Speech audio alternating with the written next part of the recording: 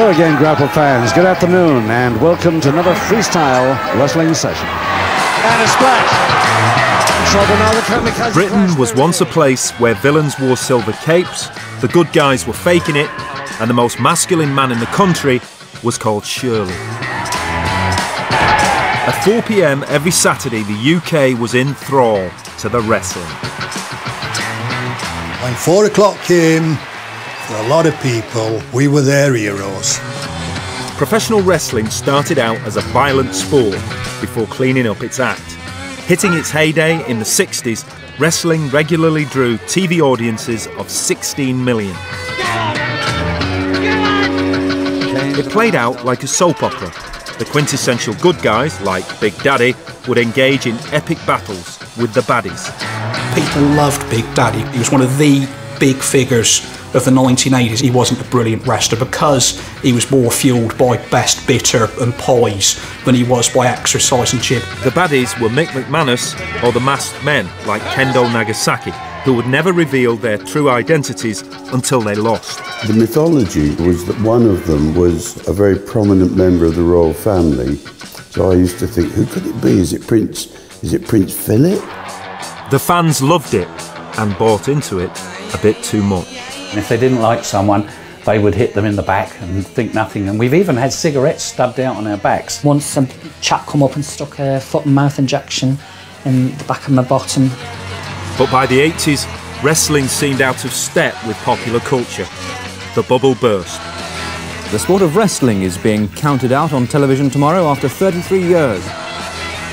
This is the story of the rise and fall of professional wrestling. The champions, the characters, and of course, the rabid grannies. Greetings, grapple fans.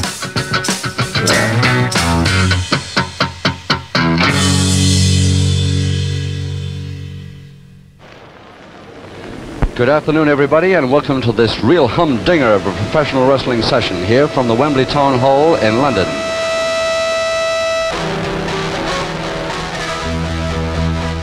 Nineteen sixty-two, a smoky Wembley filled to the rafters. Jackie Pallo versus Mick McManus, this bout that everybody's been waiting to see. The stage is set for an epic battle between two rivals, a grudge match. They drew 22 million people to one bout that they had, which was almost half of Great Britain. The rivalry was talked about by the whole nation, and this was their first high profile contest. For the following seven days, it seemed like the whole country had seen the wrestling. You never met anyone who hadn't seen it. Everyone knew what a go was going on, everyone was discussing it. And now Mick McManus. In the right corner was Mick McManus, one of wrestling's most famous villains, instantly recognisable because of his Dracula style black hairdo. Mick, superb. Mick were all action. There were no mincing. When the bell rang, Mick came out full of it, you know, like, and the crowd loved that. For this contest, As soon as he entered the rings, the fans absolutely hated him. He was the man that we loved to hate. Mick McManus.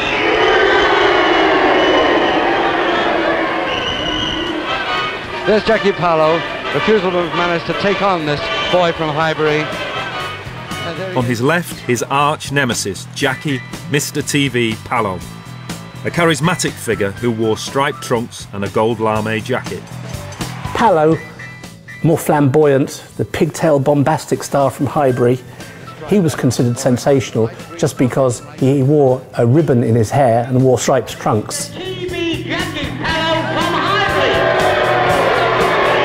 Highbury. He presented himself a little glamorous, he'd a little bit of glitter on, and he used to waggle his head and come. When they come, go on, Pallo, you're rubbish. Yes, but you paid to come and see me, that all that stuff like. Mick McManus in the black trunks with the, the short widow's peak comb downwards. Now this is the needle match of all needle matches. Pallo has been trying to get this southern area welterweight champion McManus to agree to this bout for a long time without success. Their dislike of one another was notorious. This was stoked by promoters eager to maximise their appeal. Apollo chops now on the forearm smashes. If he starts that forearm smash bed, an attempted leg dive on the bell, and McManus won't stop. And Stan Stone really trying to separate these two men. Oh, this is going to be a humdinger. All in all, there were six high profile grudge matches fought over the next 11 years. And they really didn't like each other. I mean, they loved each other in the ring because it meant that they were top of the bill and they were all earning, you know, both of them were earning kind of great money. Um, and they brought each other up, if, if you like. Um, but in the end, what had become a kind of showbiz thing really developed into a, a real thing. Both men just going to slug it out from now on. They won't have time to think what. This match between McManus and Pallo marked the start of professional wrestling's golden age. It was the seamless blend of sport and entertainment which captured the imagination of the public. As a sport, it called for strength and agility, but as an entertainment, it called for the skills of an actor. Wrestling's origins are appropriately in the music hall.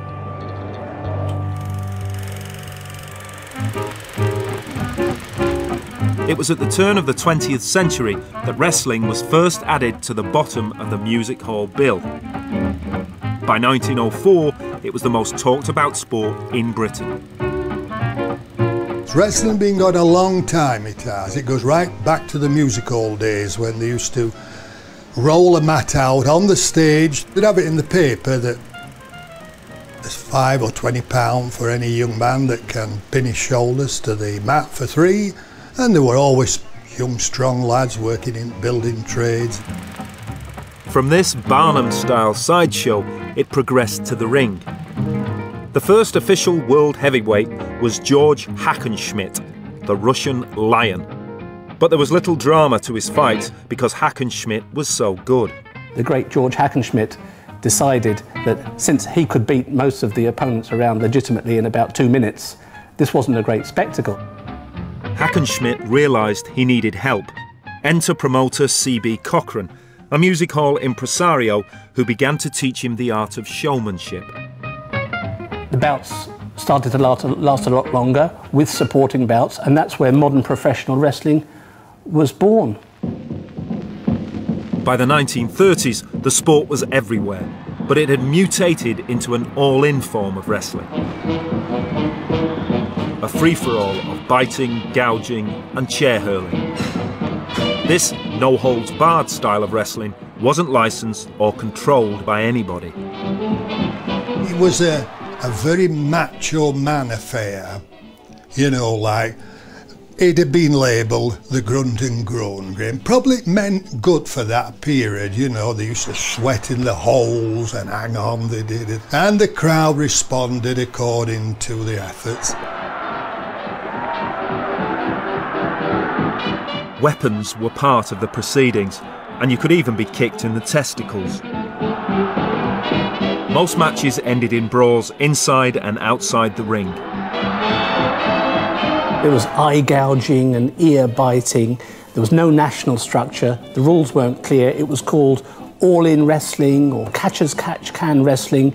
Nobody was really clear what was going on. It was a, a, a long series of very successful one off bouts, but it didn't have any future. There was no great brain behind it.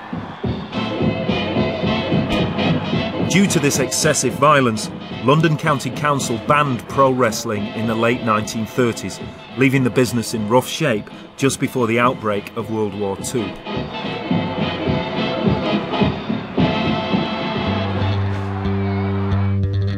But in post war Britain, Admiral Lord Mountevans would sail to the rescue. He was about to bring wrestling some much needed credibility. He chaired a House of Lords committee clean up the sport. It drew up a new set of rules for a good clean fight which still form the backbone of wrestling today.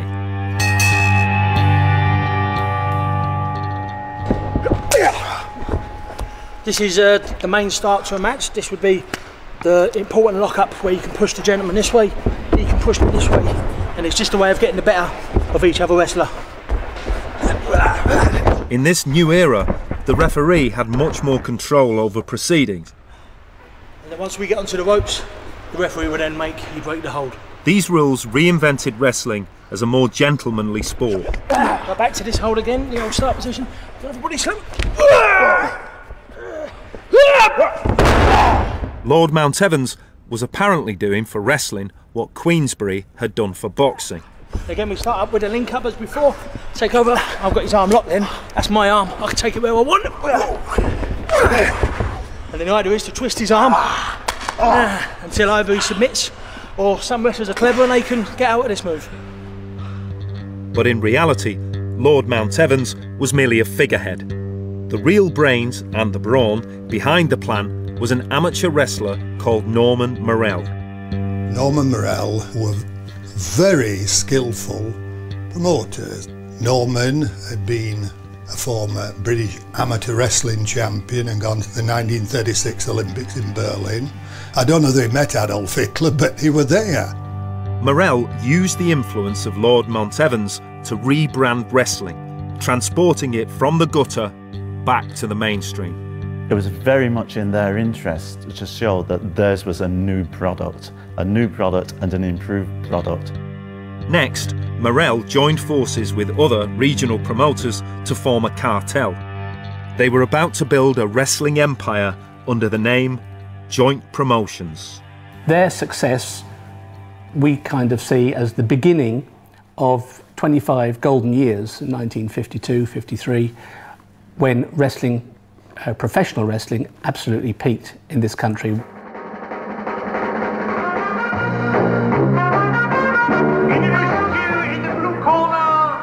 From London, we have Stephen Logan,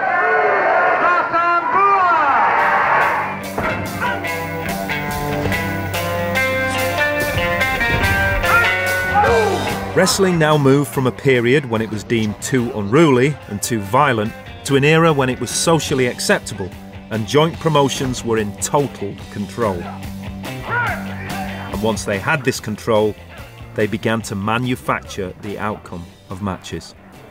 The main promoters realised that we can't just have a bout where one person wins and that was the end of it. You had to keep it going. You had to develop the narrative, both of the characters and also of, of you know, who they fought, who they won, and then someone would come back and they would beat them, and so that would carry on. Oh, a real flying tackle, but over the top and across, pressed by Wall.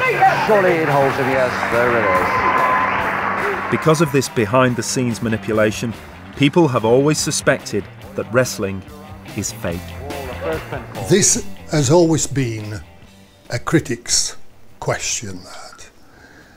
I condense it down to this.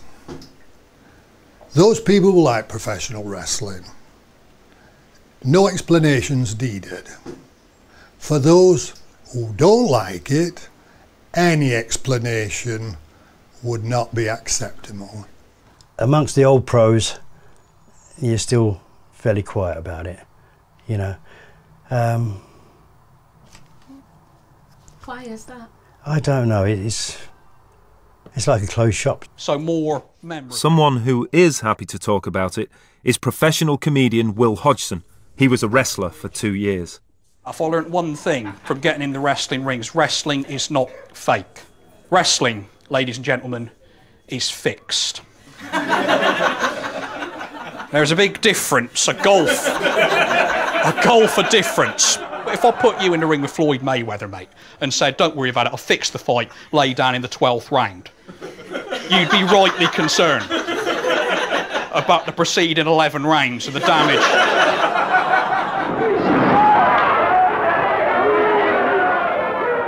Despite the fixed result, nothing was rehearsed. Wrestlers were still very competitive, taking real knocks and real risks. Wrestling in Britain was never ever choreographed. In actual fact, if you wanted to get a smash in the face from a wrestler, just say to him like, "Do you have to rehearse this?" We heard that a few times, and I tell you what, there's one or two, there's one or two wrestling fans um, got to learn the hard way. They were absolutely ad libbed in the ring, and that was sort of the key thing. And that's, in fact, what made them a great wrestler. If they could ad lib well enough to convince you that it was real. No matter how spectacular a wrestler was, it was up to joint promotions who won. They were busy creating a soap opera with a simple morality. The first thing was to easily identify who you should cheer for and who you should boo. There were the good guys, or the blue eyes as they were known. Frank Reimer was an archetypal blue eye, blonde and good looking. I would be, I suppose, what you would call a blue eye. Uh, so uh, the villains would, would tend to knock me around a little bit. I, I would sort of keep to the rule books as much as I could. People should know within seconds of clapping eyes on you which one you are. A good looking male will be a blue eye, a nice pretty boy will be a blue eye. I was a goody goody. I wasn't the best looking guy around, nearly, but I wasn't quite the best looking guy around. And then there were the villains or the heels, who tended to look a lot harder and flaunt the rules. I said to an old, old wrestler one time, Steve Logan, and I saw him training in the gym and he was coming out some beautiful holds. I said, Steve, why don't you use those holds in the ring? He said, look at me. I'm bloody ugly. He said, doesn't matter what I do in the ring, they still boo me. The evil foreigner heel used to be a classic one, or masked men are usually heels because you don't trust men with masks on. Even though masks look really cool, they're hiding something and they're up to some dastardly plot. The story in the ring would play out with the hero initially taking a pounding. They're slowly getting the very life and consciousness suffocated out of them. The referee will then lift the arm and it will come down like a rag doll. And on the old days, they used to have like an old woman from the St John's ambulance would sometimes come on and try and revive the wrestler with smelling salts or brandy or what have you to try and get him out of it. But it, it looked like they were they'd been like they were, might be experiencing brain death. Is the St John's anywhere to be found? St John's. Those those old ladies with their handbags completely believed he was, he was a very nice man that was being beaten up by a very nasty man, and they were on the side of the nice man and they didn't want him to be hurt. It was incredible theatre. In the end, the hero would usually triumph with a last minute victory. Any movie you go to, you wait for the villain to get his comeuppance at the end. I mean, that's what you do. The fans didn't care in the end that it was fixed. It was like seeing a good play. You know they're actors, but you suspend your disbelief. It's tough working class guys doing this sort of science fiction comic book pantomime. And if you're like me, someone who's not good at sport, it's a sport that appeals to you because it's it is a sport, but it's not really a sport. But what did it take to become a champion? In a drama scripted by Joint Promotions, how did you get to the top?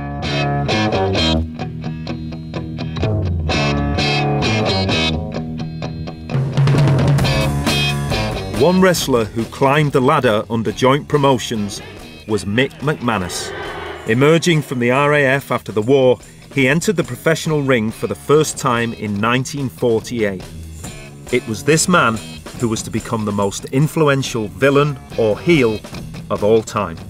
He looked hard, like sort of pub fighting hard, like he could count, like he could take someone outside and put them over the bonnet of a car or something. That sort of hardness, not bodybuilding hardness, street toughness. I think the best heels had that street toughness. Looked like the, like I say, the sort of guy your dad would play skittles with.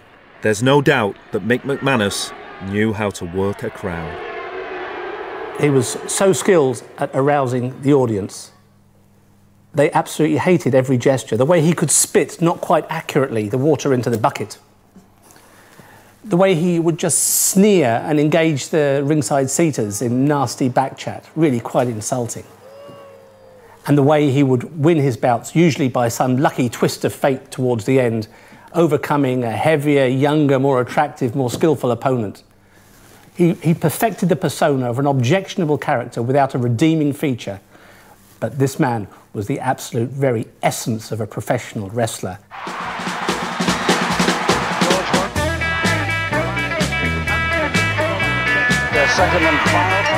Mick was carving his own niche as the man we love to hate. He also acquired his own catchphrase. In the 60s, it seemed that this was all you needed to propel you to stardom. I'm free. Seems like a nice boy. I didn't get where I am today without having a little champagne, not too much, just enough. Oh, you are awful. But I like you. Nice to see you. To see you!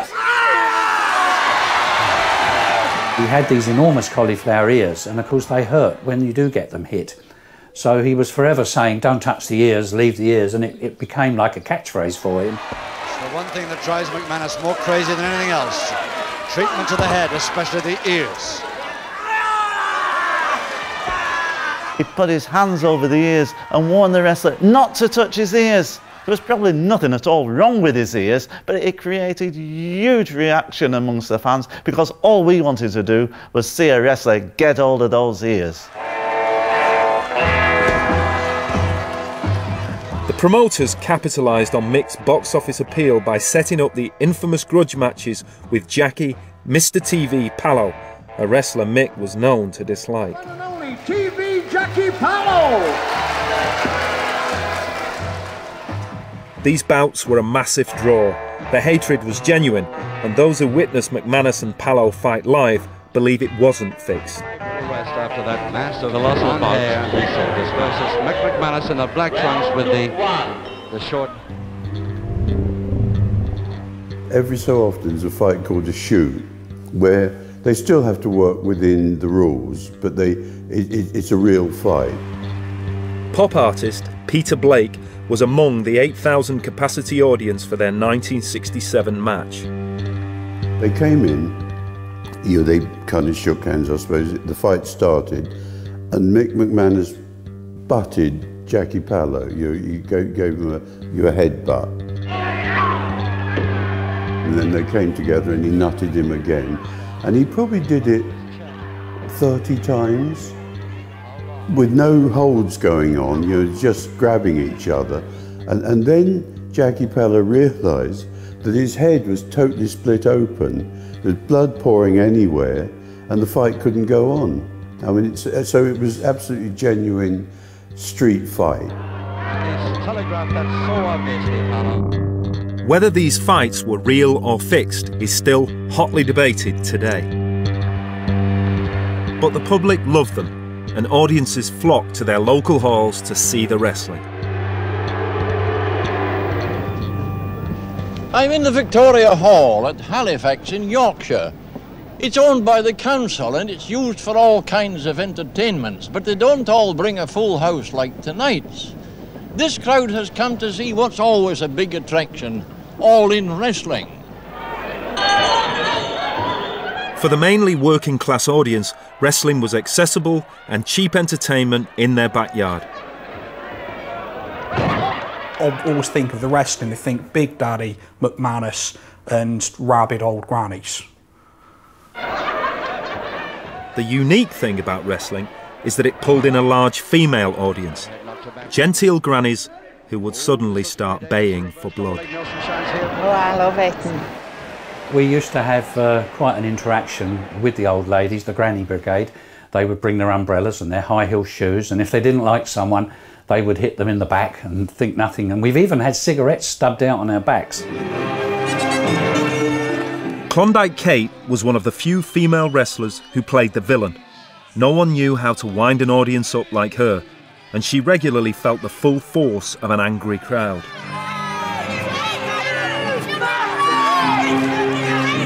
I used to get called all sorts of different names, really derogatory names, and I think if I was in the street and got said that too, I'd be really upset. But being part and parcel of what it was all about, the name calling didn't really matter. All I knew was I was doing my job right by winding these people up, and I did really wind them up. When you go out, the crowd were just the same, and they'd be grabbing for you and trying to, trying to hurt you.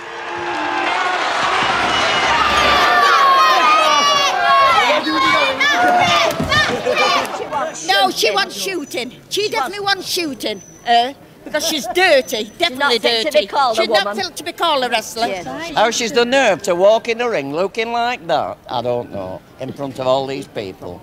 She's got no shame at all. No, she hasn't. No. No. None at all. She's, She's just a dirty, big, fat lump of lard. I've been in the ring and and sort of stuck my backside out to the crowd And once some chap come up and stuck a foot and mouth injection in the back of my bottom where it hit my nerve and all down my sciatic nerve and I ended up in hospital a couple of days.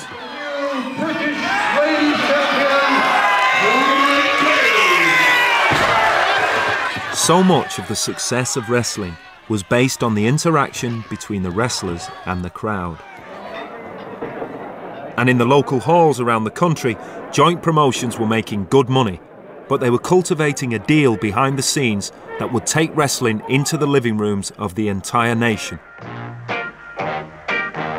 When ITV launched World of Sport in 1965, wrestling became a weekly primetime fixture. Welcome, Grapple fans. Up again and down the rope. Television is a thing that you've got to have in any form of, call us sport or entertainment. I don't care, call us entertainers. But you've got to have a shop window. Now, this afternoon, we're really going to see two at least of the most tremendous spots we've probably ever seen on television. A regular spot on World of Sport legitimised wrestling as a sport, as it sat alongside football and horse racing, but it also injected the razzmatazz. The big characters emerged. That's not to say you had to have a mask or you had to weigh, you know, 45 stone, but it, it helped if you had a, a persona, a shtick.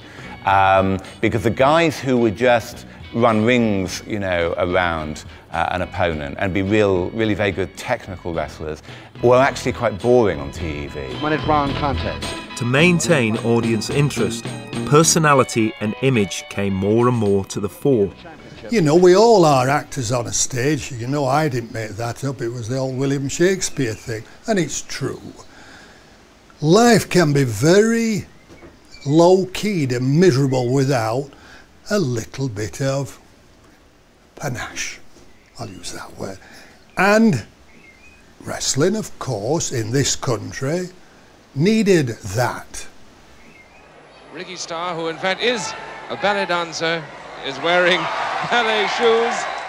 It wanted personalities. There were no doubt about that.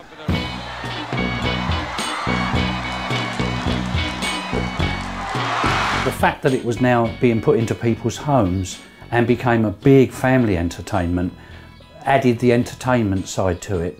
And then the wrestlers themselves needed to do more in order to keep that attention.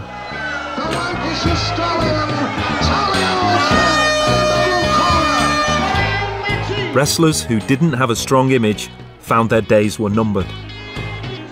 A lot of the really good guys just got left behind by TV because they didn't have their, you know, their particular uh, act.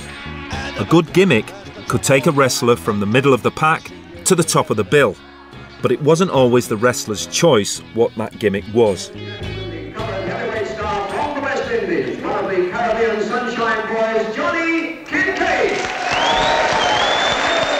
Never mind about the Barbados, they just couldn't spell Battersea. I was born and brought up in Battersea, you know, and when I first went to joint promotions, um, I said, would it be okay if I'm billed as a coloured cockney? And Jack Dow, the governor, looked me up and down and went, well, you are um, of Caribbean origin, and so let's keep it to the Caribbean, shall we? Barbados. I went, thank you. So I became a Barbadian, never leaving Battersea.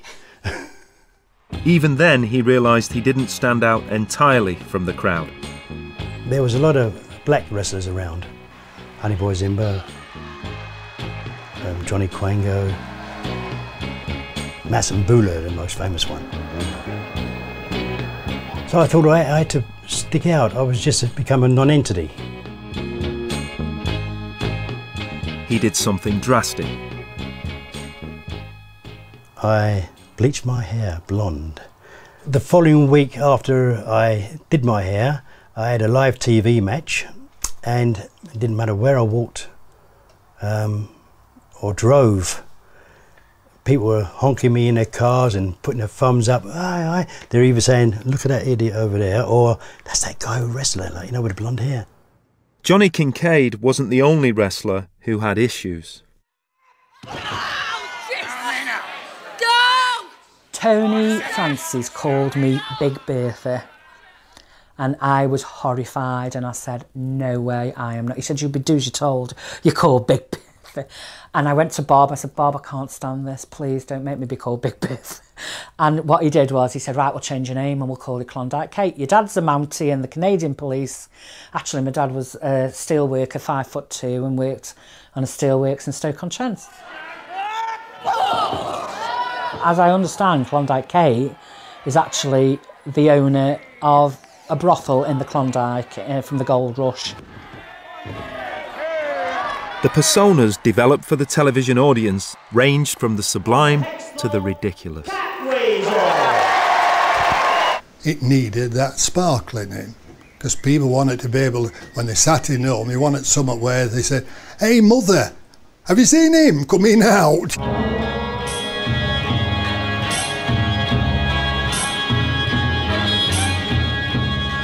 And they didn't come with much more sparkle than the exotic Adrian Street. Adrian Street.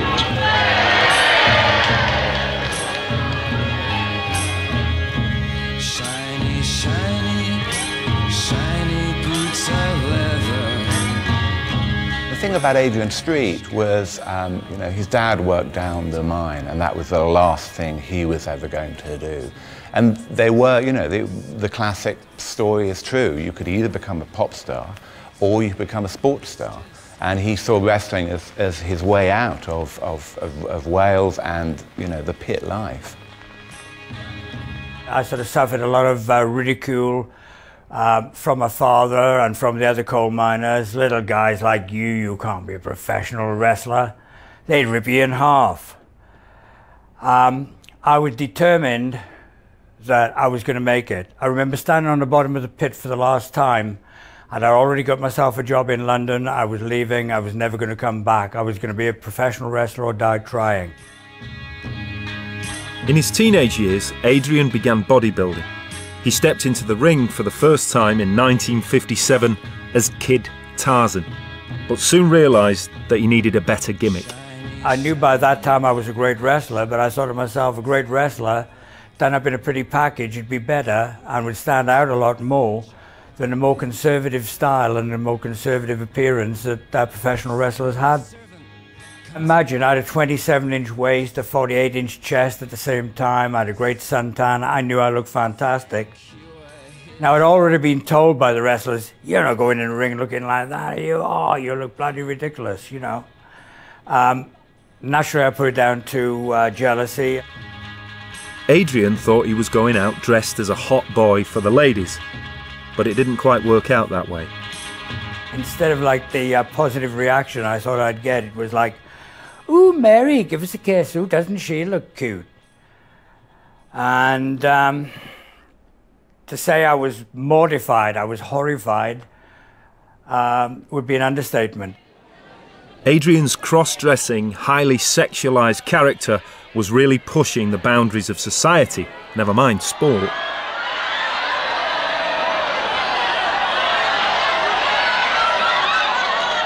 But Adrian took the view that no publicity was bad publicity and began to milk it.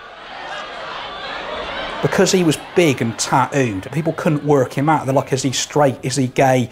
And he was never upfront about it. He'd never answer that. And I think that wound people up even more. But I like the way there's this combination of like toughness and glam with him. He looked like a sort of combination between Emma Bunton and a Welsh coal miner. Secretary, round three. Round three, and Adrian Street. Here he is on the left.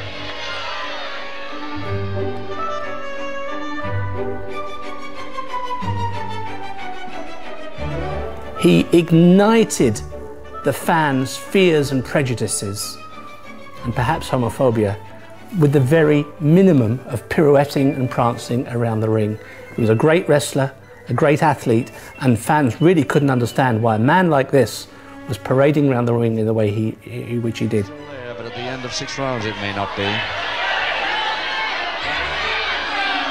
This is a catchweight contest. He's giving away a lot of weight. Every time I appeared on TV, I'd wear a different gown.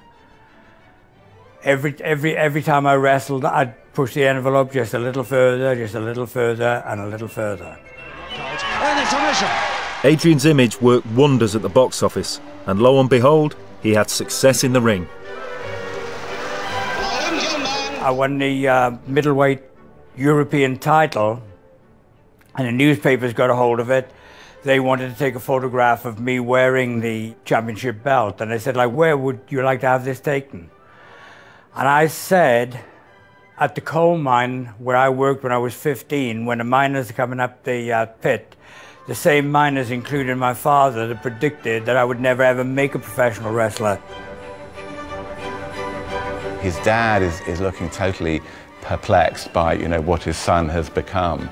Um, and there, there's a great cage of miners behind him, one of whom has his mouth open and his eyes wide, and he really can't believe what he's, he's seeing. And there's a real kind of FU kind of moment where Adrian, who never liked his dad, um, said, okay, I've made it, you know, I've got out of here. I'm here, I'm here down the shaft for two minutes, and that's it.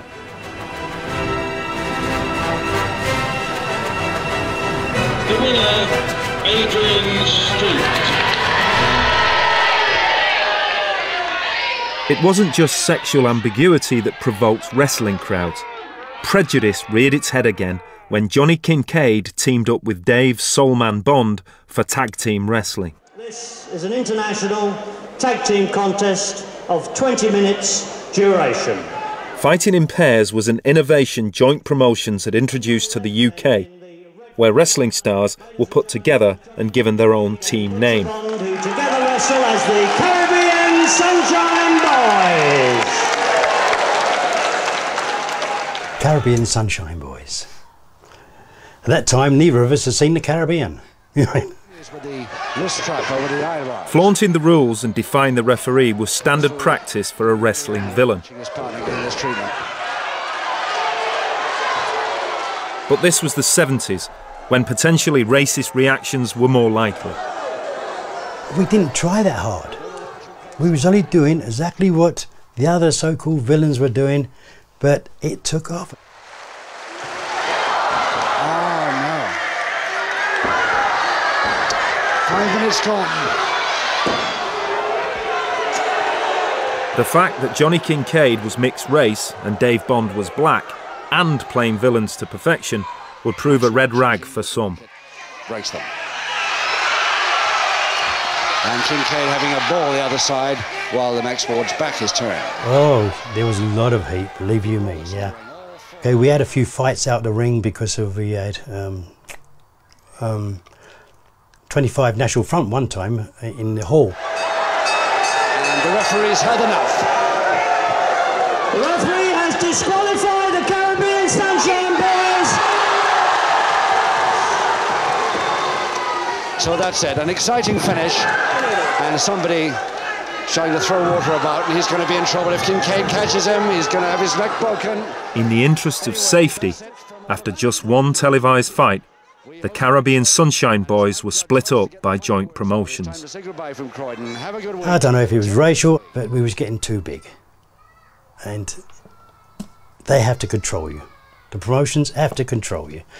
If your face fits, fine. Um, if it doesn't, then it doesn't matter what you do, you don't get very far. Whatever the reasons, joint promotions knew TV was a cash cow and didn't want anything to jeopardise their precious TV contract. The television contract was the prized possession, very carefully won over a number of years by joint promotions, and not to be sacrificed at all, thanks to rigorous promotion and high discipline. Someone who was initially considered too much of a maverick for TV was the most notorious masked wrestler of them all.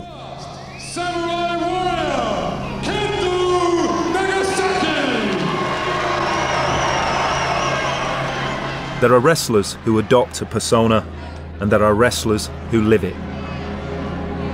Kendo Nagasaki is a self styled enigma.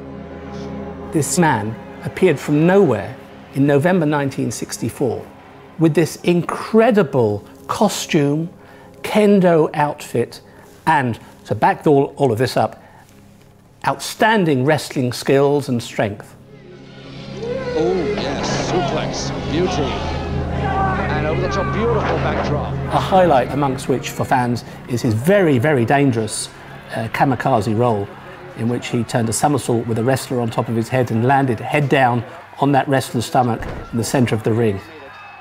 Worth the entrance fee alone just to witness that. And Kincaid in trouble now. The kamikaze crash. There it is. The kamikaze crash with his head bleeding. Kendo was wrestling in halls all over the UK, but joint promotions kept him off our TV screens for the next seven years.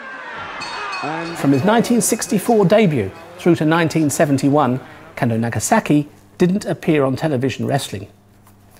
And the reasons for this, we can deduce, would be that his persona and his uh, outrageous and very fierce ring antics were just a little bit too much for genteel tea time television around the country. But by 1971, the promoters could no longer ignore the allure of Kendo Nagasaki, and he was finally allowed on World of Sport. This was when the obsession began. Who was that masked man? My ambition was to be Kendo Nagasaki. Right from the beginning, he was an intriguing figure. He, he always won. The, the, the myth was that he never spoke, um, and that he was Japanese, and he was a mystery man. The myth was that he had some sort of big Japanese samurai connection and he would come in with um, this great sword and throw salt over his um, shoulders. His first manager, gorgeous George Gillette, who would do all the verbals because masked men, you know, don't talk in case it gave away their identities. The Greatest wrestler in the world today, the mighty, masked and mysterious King Kendo Nagasaki. Most masked wrestlers are in the game for a few years, defeated and then ritually unmasked. Count Bartelli, the Zebra Kid, the Outlaw.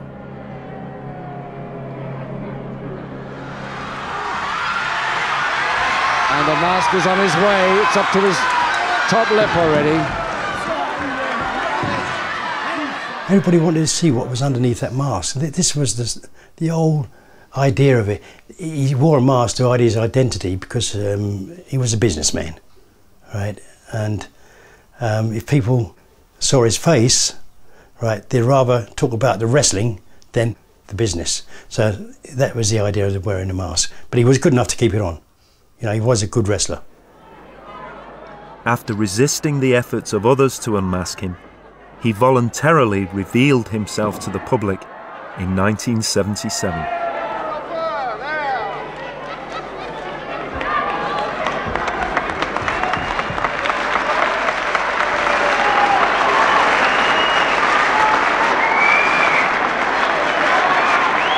He was unmasked and his features were seen for the first time, and his features were quite sensational, with a largely shaven head and mysterious tattoo on his forehead. But once he had exposed his face, Nagasaki realised the mystique had been lost and put his mask back on six months later.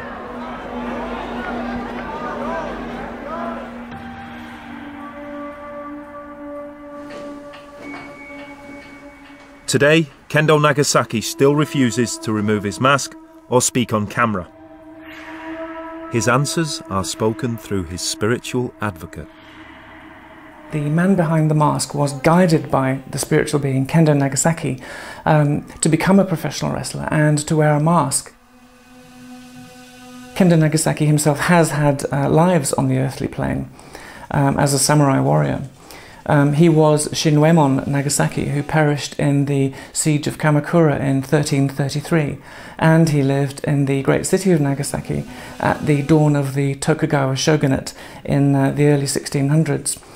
And the man behind the mask himself has gone uh, through past life regression, uh, in which he's uh, seen himself um, sharing lives and fighting alongside Kendo Nagasaki during these times. Kendo. I'll call him Kendo, although of course that's not his real name. And Peter will call him because that was his first name. Within the world of wrestling, the identity of Kendo Nagasaki is an open secret. But on the outside, the name Peter Thornley is the extent of what we know. Well, almost. He had like half a finger on one hand, and there was all this mystique about how that came about. It had been cut off in some Japanese ritual. Um, and in the end, of course, we find out that he lost it in some sort of industrial accident in a factory near his house in Wolverhampton. Kendo Nagasaki's actions were front page news. Professional wrestling had become so successful that it had penetrated every aspect of popular culture. Prince Philip and Her Majesty the Queen used to come to the Albert Hall every month and see the wrestling, regular as clockwork, great fans. Um, the Beatles and Mick McManus were great buddies. The wrestlers were everywhere. Many were regulars on the Generation Game. It is Mick McManus. There we are then. Mick! You want to get a nose like that? Good enough, But behind the scenes, a shift was about to take place. By the mid 70s, the old guard of joint promotions were keen to retire, but they had a successor in mind. I don't give a damn what the doctor says, he must be there. For all its success, wrestling needed a shot in the arm. Fans were tiring of the familiar names. What we'll do then, Keith? Max Crabtree knew it was time to innovate or die. We had to just try and bring it in a little bit with a bit of flair. It was the only way, you know, it, it needed some a kick up the backside, you know. It was at this point that from the dole queue came Max's middle-aged brother, Shirley Crabtree. He had been a wrestler, but none of his previous gimmicks had broken through. He came to see me. He said, uh, I don't know. He said, I seem to have run into a brick wall now. My old career's gone, old cock. I said, listen, I want you to be Big Daddy. I shall not, I shall not be moved. I shall Big Daddy would change the face of wrestling and become one of the most revered and reviled names on the British scene.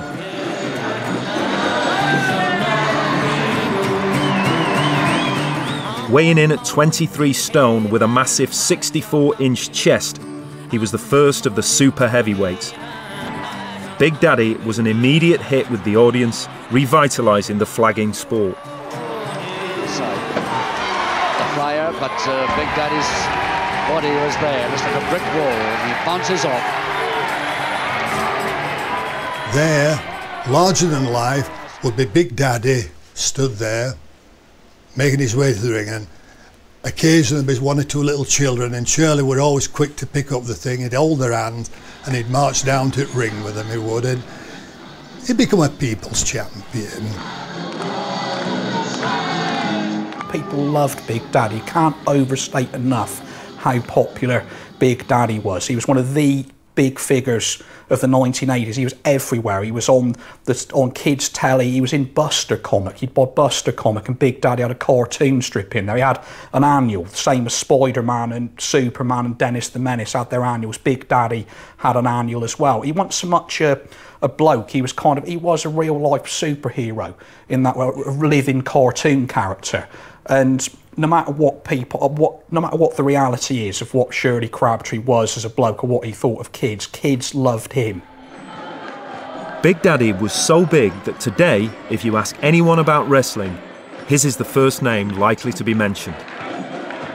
A fringe play has even been written about this hugely popular but very unathletic sportsman. You probably noticed by now, I'm not exactly, what's the word, I'm fit. Well, I wouldn't put it like that exactly, but I'm a big man, 23 stone, and I'm, how can I put this, uh, oh, past the first blush of youth. Uh, therefore, there's a few of the traditional wrestling moves it's probably best I avoid, like, uh, all of them. I, So, I had to limit myself to the range of moves I could do. First up, we have the forearm smash. Then the so-called belly botch. And my signature move, the belly splash. Oh, for God's sake, no! Submit! Submit! Ah, perhaps not here. And, well, that was about it, really. Wild Angus back in against Big Daddy. He walks But fame didn't just arrive. Big Daddy's brother Max had to work at it. He decided to recreate the drama of the McManus Pallo feud with Big Daddy and another super heavyweight, Giant Haystacks, who weighed in at an incredible 40 stone.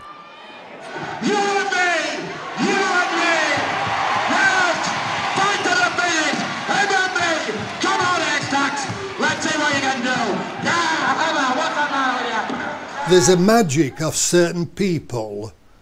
I mean, when I put Giant Haystacks on, because of his enormous size, he was very recognisable. The six foot eleven, 40 stone, the giant haystacks.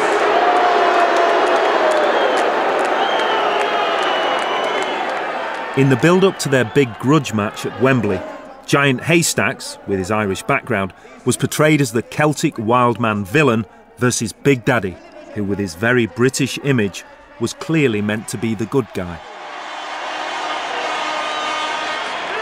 They become emblematic of, of, of, of traits of British character. And, and you know, uh, Big Daddy sells himself as a modern John Bull, really. You know, he comes, he's got a Union Jack waistcoat, top hat. he top hat, he wears a tin helmet during the Falklands. He's very deliberately making himself into the sort of blitz spirit John Bull. And Giant Haystacks, uh, Martin Ruane, he was, he was you know, Irish by birth, and he's very deliberately summoning up something Celtic and, and rural and, and sort of pagan Yeah. and untamed. You know, he's a great sort of, he was wearing sort of bib overalls, you know, and He's a wild man. He's a wild man. In the one corner, we have John Bull, civilization, the town, the city, empire, versus in the other, wild, dark, untamed, pagan, rugged heath. We got any of them custard creams? Top draw. It's light versus dark, Shirley. The most primal struggle of all, good versus evil. You'll be making hundred pound a night. But I can't stand it. No one can. That's the bloody point. You're about to go. Stratospheric. Got any bourbons? Kitchen table. The referee inside the ring, referee inside the ring, Craig Green of London, and Dave Reese from Shrewsbury, the referee outside the ring watching points. This bout will continue Big Daddy versus Giant Haystacks at Wembley Arena in 1981 was the biggest wrestling event of the 80s, but the cracks were beginning to show. by mutual agreement, the final showdown match. I was one of those kids that were cheering for Big Daddy and liked the big Yorkshireman squishing people with his big belly. We loved all of that, and but I can see how that wouldn't sit well if you'd spent years mastering ring craft. Michael Brooks only.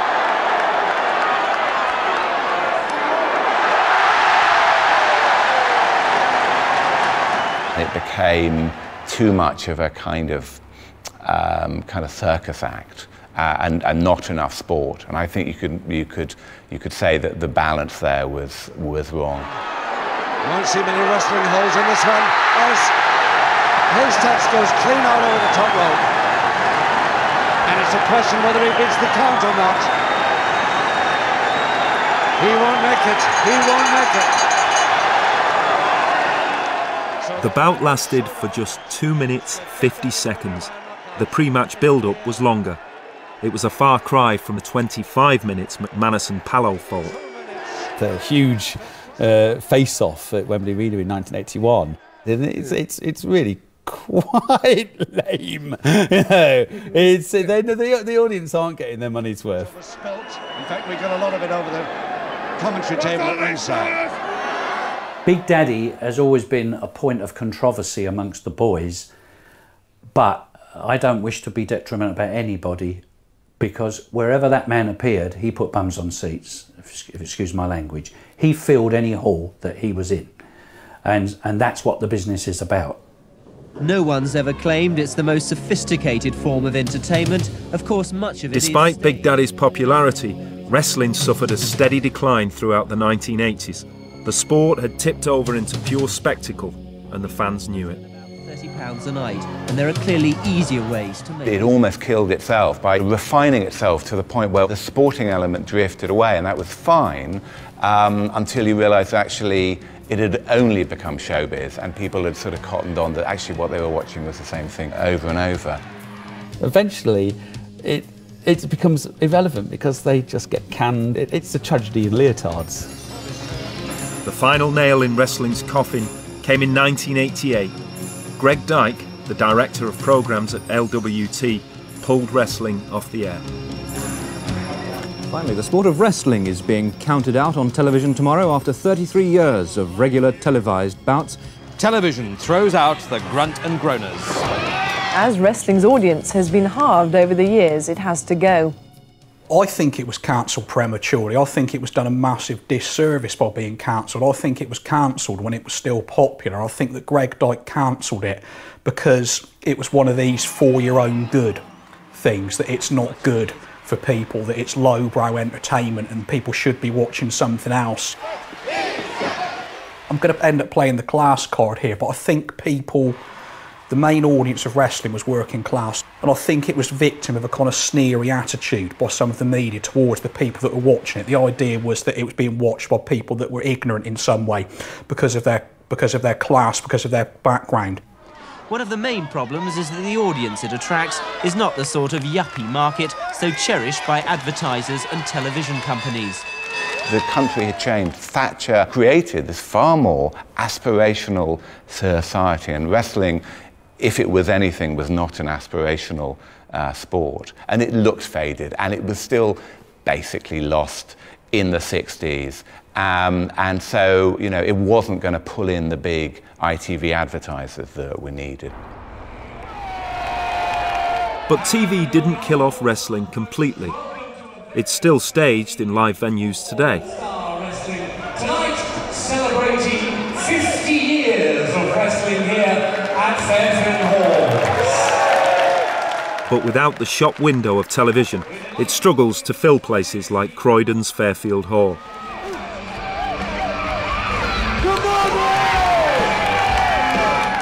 The Granny Brigade still love it. The wrestlers work hard. But the world of wrestling is a shadow of its former self.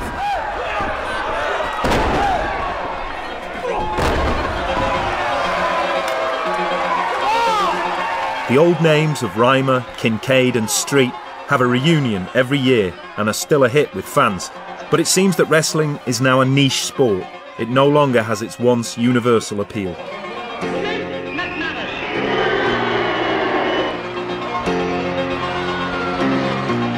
Yet wrestling's heyday will live on long in the popular memory. The great characters, the great feuds, and the wrestlers who put their bodies on the line for our entertainment. Those men gave their bodies night after night, smashing and banging around a ring for 40 years of their lives. Their hips and their knees have been replaced, but it was worth it to them because in that heyday, they were superstars. So let's give the wrestlers themselves the final word. I've been a wrestler for many a year. The game's been good to me. It's not as easy as people think. Take a look at me and see. My arms are broken, some teeth are gone. I find it hard to chew, but this is what most wrestlers get, trying to entertain people like you. Now you say it's bent and you say it's fixed and other names you call, but it ain't no joke on other bloke who just lost the last fall. So to you people have your doubts, this game's a rough employment. Bones have been broken, and men have died. For you, it's your every enjoyment.